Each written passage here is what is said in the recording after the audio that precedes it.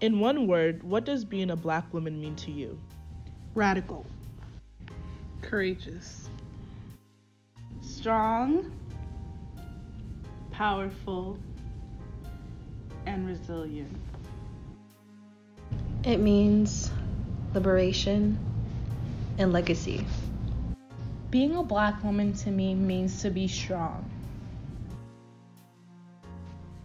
Loving, magical, and fierce.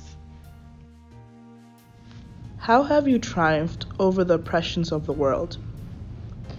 Many of my triumphs come from within, so definitely starting with accepting and loving myself for all that I am and also for all that I am not, and working to be comfortable in my own identity and to love myself and cherish myself for where I excel and where I fall short.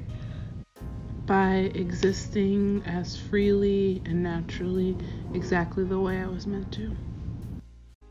Especially as a black woman, there's just so much that we go through and so much that the world puts on us and wants us to be.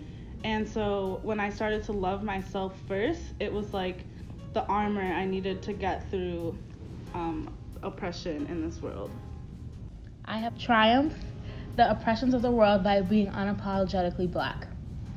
In existing despite what others may think or believe about me, and especially with the help of my ancestors, as their blood moves through my veins and their strength is on my shoulders, and I move and navigate in the world with their help and with the help of my sisters. What gems does the world need to know about you and your identity? The world needs to know that I am not one that can be copied or replicated, but unique and beautiful. We radiate love, laughter, and happiness, and that this image of the angry black woman is merely an image, it's a fictional image. That I am constantly carrying generations of strength on my shoulders. The world needs to know that my life and my story is just as valuable as yours. The world needs to know that my black womanhood will not be erased. I will not be forgotten.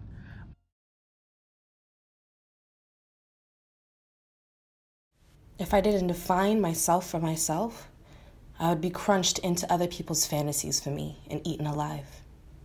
Audre Lorde.